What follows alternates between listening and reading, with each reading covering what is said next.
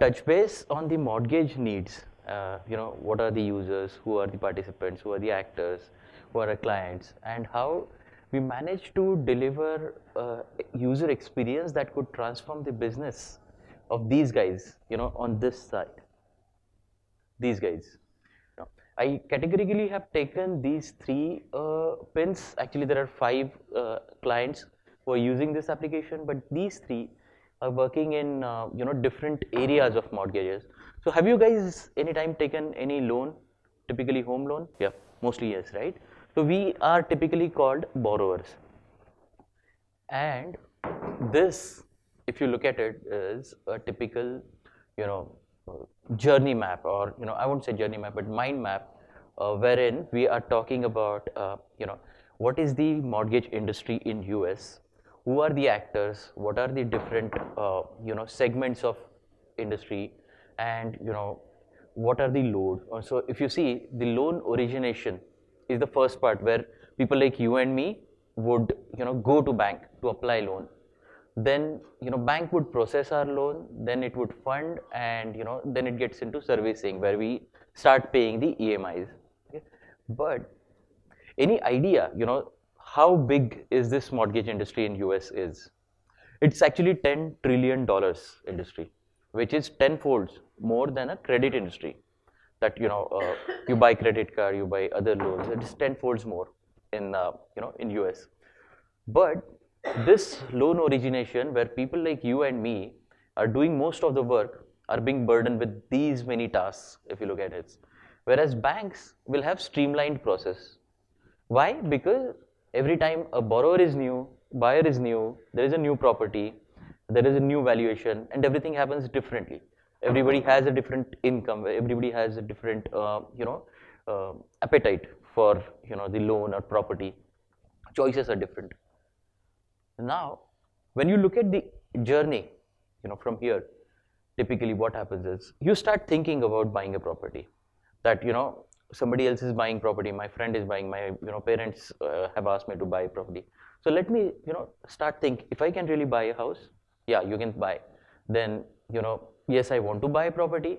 Then you move to the next step is you know I need loan it seems because property prices are high and I don't have enough funds. So let's apply for loan then you apply then it gets into the status you know that you know uh, i applied 10 days back is bank really processing it? Do they need any documents from me? Are you guys doing it well? Is there anything that i need to do? These kind of things would come here. Then your loan is finally approved. You move into a new house. You plan renovations. And then you know uh, that's by and large the end of journey. Now most of the banks would actually focus in this area. From let's apply to loan approval and the status part. They won't go above and beyond this. They won't do any augmentation of services. By augmentation, what I mean is, uh, you know, when you uh, provide a service to an extent, but you increase your touch point, increase, enrich your touch points to an extent where, you know, uh, you involve more actors into it. For example, when you are thinking about buying a loan, can bank do something here? Or when you are thinking this, yes, I want to buy a loan, I want to buy a property, can bank help you here? Or in your newer renovations in your new house, can buy do something here? So when, let's say, our guy Steve, you know, he is thinking to buy a loan, what he would do typically? I'll just tell you high level what is the composition of uh, you know this uh, deck is. These are the problems that he would face. These problems. These are the activities that he would do. These are the people that he would interact with, and these are the channels. So when you think that yes, I want to buy a home, I want to buy property, you would typically interact with your colleagues, with your family, with a broker, and with your friends. Maybe over the phone, over the chat, or in-person meetings. Then you say, yeah, then you know what's my affordability? You know, I can probably uh, you know uh, go to some sites, think of some financing, and think of some uh, you know check my pay stubs is how much I can really afford, how much I do really have in the banks and then you figure out the affordable locations in consultation with the broker. but while doing so, right, so uh, when you talk to family, you get the information, but is it really appropriate? What is the real reliability of that information? When you talk to broker, you always have fear of being misguided. And when you go to the sites, there's a lot of cognitive load because there are a lot of information that is not personalized to your needs. Similarly, when you decide now, I want to buy a property, you would shortlist a property with bunch of actors, you would, uh, you know, do back and forth, you will make site visits, you will do a lot of legal activities there, and so on and so forth. So we are by and large, I'm trying to, you know, uh, get you into a context of a buyer. And I'm sure you, must, most of you have gone through it. So where we typically have problem is, you know, am I really doing it right?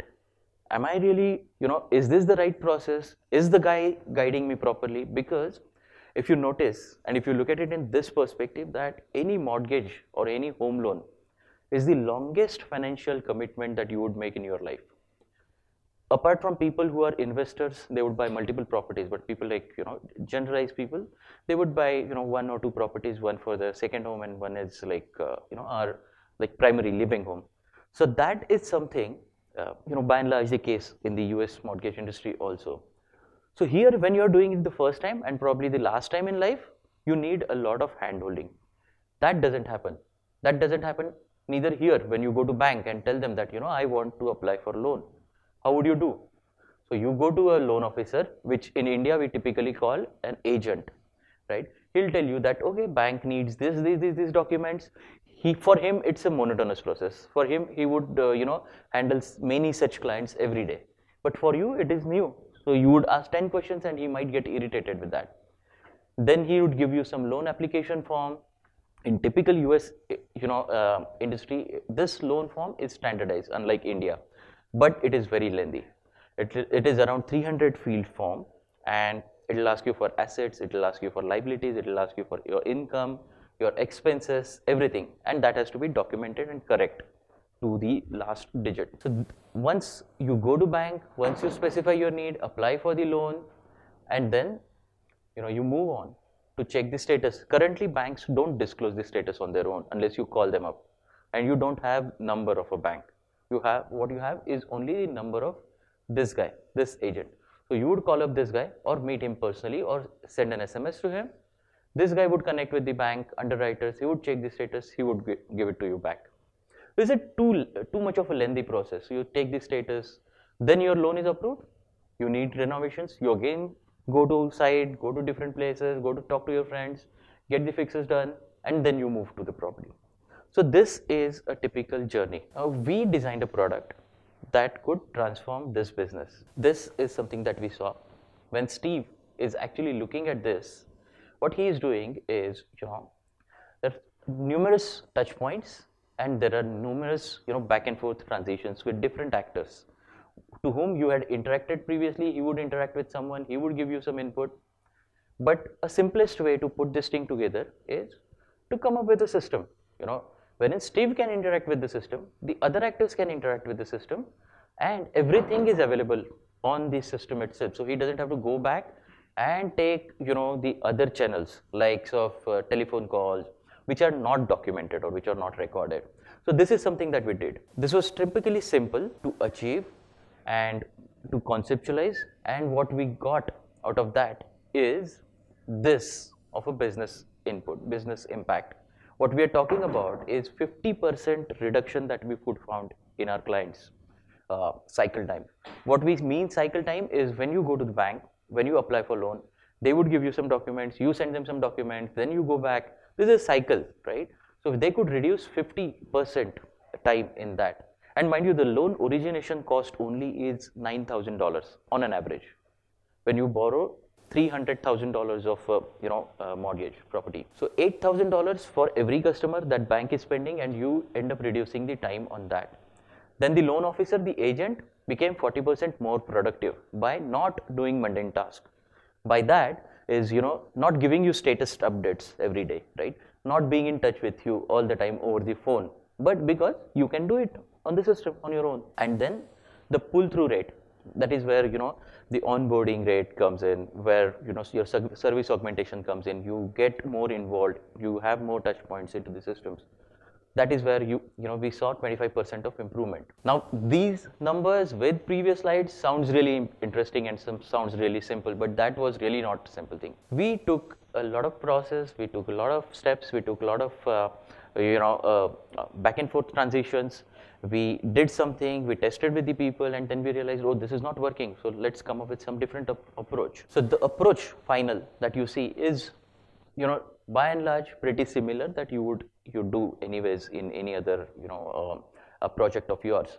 You first find the scope then you do the secondary analysis then you do conceptualization then you do design do some usability analysis and finally release the product. Typical you know mvp structure. But activities that we did were slightly different here.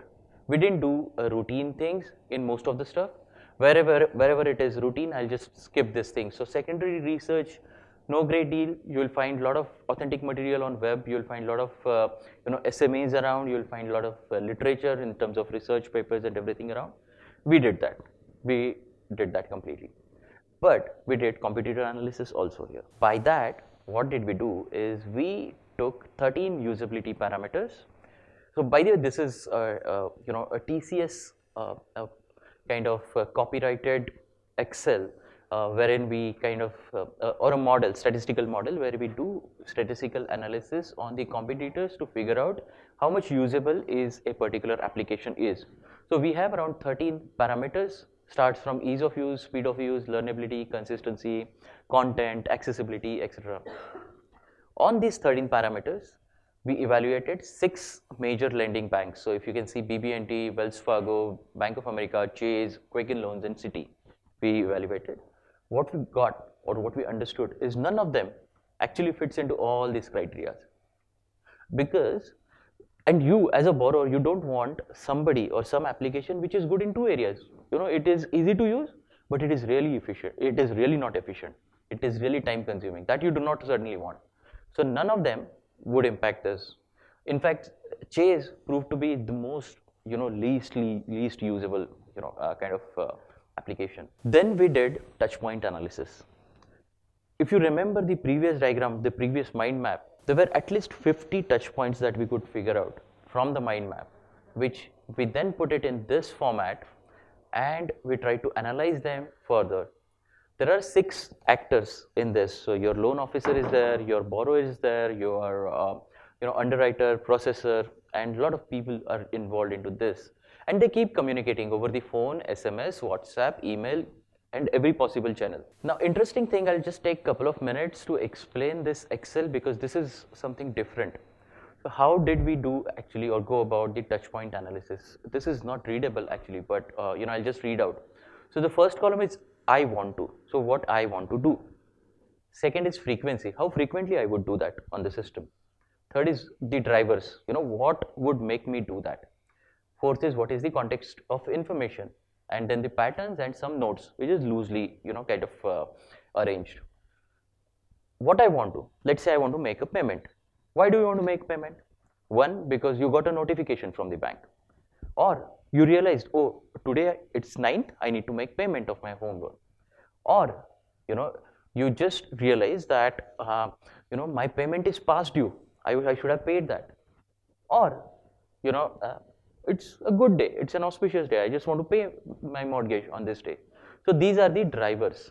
So once you take the task or intent what you want to do, you find the driver, you find the frequency, you know how many times you will do that. Mortgage payments are typically you know automated. You give uh, you know consent to the bank and they deduct it, but not in US. They at times do not give that consent. They want to make that payment you know um, every month because their payment, you know, there could be a lot of nitty gritties in multiple uh, user sets. Now, in this context of information, what are things that you would need while making payment? You need due date, you need frequency, you need, uh, you know, uh, you know, what is your due date, what is your uh, payment amount, what is the, you know, status. Can I make additional payment? Can I make, uh, you know, future payment also? Such things can come here, and this, by and large, is pretty loose uh, kind of Excel, I would say, or a format or model. But did, this did help you, you know, us to come up with right touch points, right channels, and provide the right interface. Then we looked at the demographic data. You know, what is the typical age of a first-time buyer in US? So it's basically 32 years. You know, uh, the first-time buyer, first time when you decide to buy home, and the same is reflecting in the in these statistics. So this statistics is from one of our customers who you know have uh, this demographic of their users or their you know current customers who are being in services sector. So if you see the largest part or the largest area is you know here where you are typically in the range of 32 years.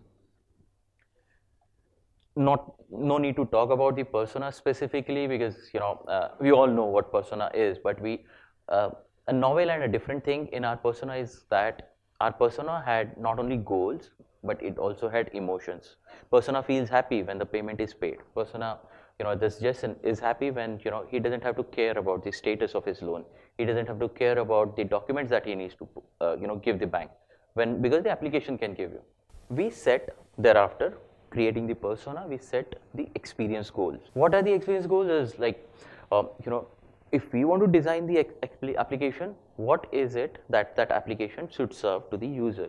So it should have smoother onboarding so that you know your new buyers, your new uh, you know um, uh, potential you know, customers of your bank should not have uh, uh, what do you say any hassle while onboarding. You don't ask a lot of documents. You don't ask the documents which you already have or you can figure out from different sources. You can just eliminate that.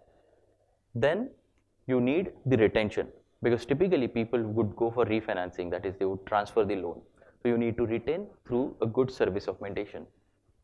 You need to support your first time buyers. Uh, you know, maybe through learning material, maybe through contextual help, maybe through intelligent messages and good notifications. It has to be, of course, easy and efficient. Uh, technology should take up the human, uh, you know, um, aspects. As in, uh, you know, if uh, if there is some uh, mundane activity, then maybe technology can aid that. Maybe technology can use that and a consistent quality. What happens is typically, you know, uh, when you're inter interacting with the bank or loan offices, you would, uh, you know, of, often you will feel that, you know, uh, or you'll get an experience that, you know, I'm not getting a good feel of this customer, so let me not, uh, you know, uh, in, let me not, or let me neglect this guy to an extent, or, you know, I'm not getting the, you know, uh, satisfactory, you know, response from the customers or from the banks. So that a system would certainly not do. It will have a consistent quality to deliver. So with these experience goals, so what we saw so far is we identified the problems, we identified the um, you know user groups, we identified, and then we set the experience goal thereafter. Then we got into the you know system design style. So we did a lot of uh, you know card sorting activities, and the different thing that we did here in card sorting activity is you know we if you notice, this is a wall, a glass, uh, you know, that was there lying in the passage of one of our, uh, you know, offices. And we asked people to kind of, uh, the target audience, you know, what we had is to come in the morning, look at this activity, look at these cards and reshuffle this based on their expectations, their needs and their, you know, kind of uh, uh, likes and dislikes. And then we told them that once you do it, it is not done. You know you can always go back you can always think you can think through and you can come back to this wall again and reshuffle. So we did this activity for two days. People used to come in the morning they used to take coffee breaks here they used to look at these maps and they used to change these sheets and you know uh, these post-its. And we used to take you know pictures of the photographs or after every 30 30 minutes so that you know we could record what is happening what is changing and what is you know resulting into a good system. So this resulted into a, a you know high level information architecture that we could uh, you know design for a system. While we do that we cannot you know again go back in the system and neglect the users that you know previously what uh, other systems we often uh, realize that. Now let's look at the first time borrower as a persona he would always be concerned about am i doing it right he would like to know you know, what is my contribution to the bank and what is my what is bank's share in the property or the loan that I'm buying. Then what is my monthly payment? Can I make it a low payment? What is going to be my tenure? Then he would also be interested in knowing, you know, uh, you know, how should I actually approach this? Is my approach really right?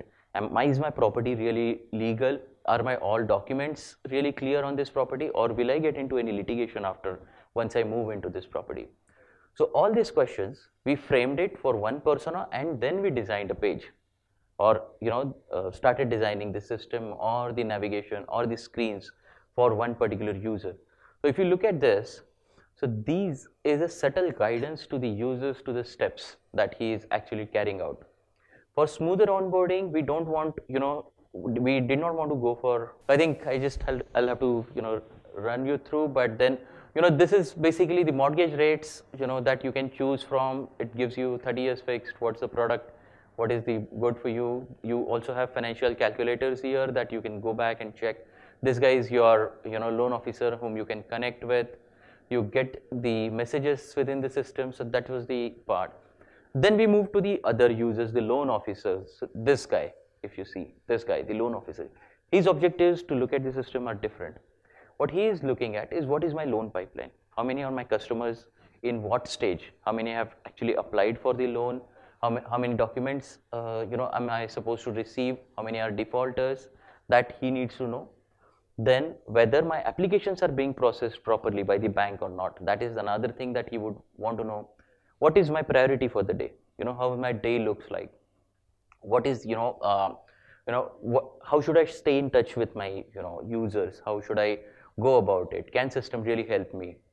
And i don't want to miss my sls because my increment my salary and my incentives based on the slas with these in mind uh, you'll find it really overwhelming. Initially we also thought of that but then when we interacted with a lot of loan officers they, they, they felt, you know, I'm getting everything that, you know, I need on this one single page. So if you see, this is the loan pipeline, this is the applications that are being submitted, these are the SLA marks and this is the day and these are unread messages that this guy is supposed to respond to. Then I'll just quickly skip this uh, another thing wherein we, uh, you know, in the, this is the loan application form around 300 fields. We tried to put it on mobile phone and it worked really fantastic. Uh, we gave hidden accelerators wherein we took a you know couple of uh, forms which we could read using OCR techniques and then it can give you a head start of let's say you upload your W2 is like uh, form 16 in US uh, it give you head start of 40% in the form. It if you upload the tax return form it'll give you head start of 30% this was one of the trials.